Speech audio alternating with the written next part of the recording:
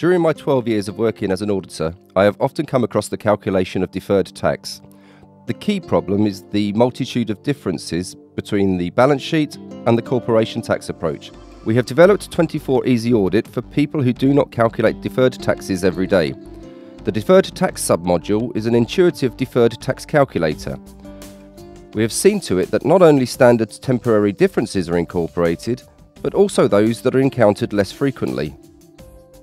24iValue performs the entire deferred tax calculation process in generating deferred tax assets and deferred tax liabilities.